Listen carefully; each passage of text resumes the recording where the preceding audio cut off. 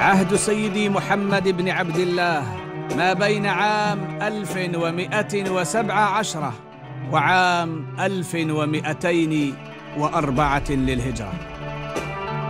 تولى السلطان سيدي محمد بن عبد الله الحكم وأعاد الوحدة والسلم للبلاد بعد ثلاثين عاما من النزاعات بين أبناء المولى إسماعيل. ففي عام 1173 للهجرة كان دخول السلطان مدينة تطوان ومحاصرته لمدينة سبتة. وفي عام 1174 تم بناء سفينة من طابقين بسلا استعدادا لاستئناف الجهاد البحري. وفي عام 1176 تم تحبيس كتب خزانات مولاي إسماعيل على بعض مساجد المغرب. وفي عام 1178 كان الشروع في تأسيس مدينة الصويرة. وكان هجوم فرنسي على مدينة الرباط وسلا. وفي عام 1180 للهجرة تم توجيه سفارات إلى كل من فرنسا وإسبانيا من أجل افتداء الأسرى وأخرى إلى بريطانيا من أجل إصلاح سفن مغربية وتزويدها بمدافع نحاسية ورابعة إلى الإيالة العثمانية. وفي عام 1182 تم استرجاع مدينة البريجة بعد حصار وتسميتها بالجديدة.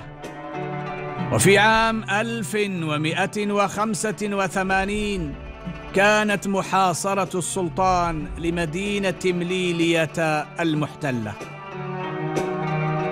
وفي عام 1190 للهجرة تم تأديب عبيد البخاري وتفريقهم على مختلف المدن والقبائل.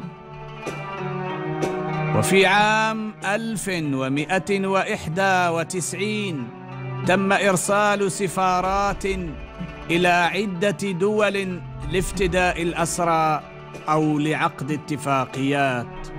في عام 1200 تم توقيع معاهدة مع الولايات المتحدة الأمريكية كدولة ذات سيادة. وفي عام 1201 كان خروج سفارتين إلى إسطنبول ووصول سفارة عثمانية.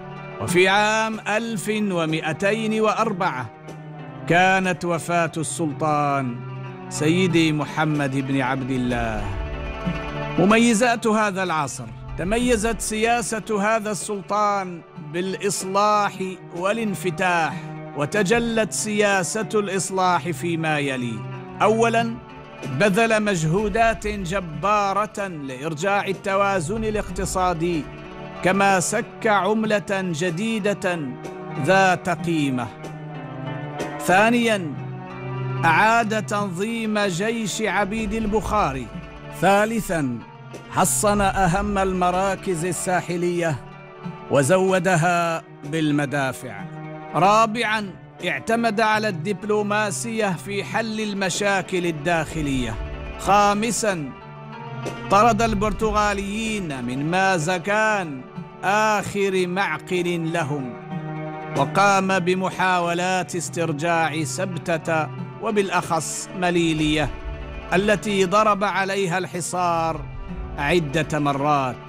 سادساً نهج سياسة انفتاحية مع العالم الخارجي إذ سلك سياسة التقارب خصوصا مع تركيا وفرنسا وبريطانيا وإسبانيا كما ربط علاقات متينة مع أمراء الحجاز.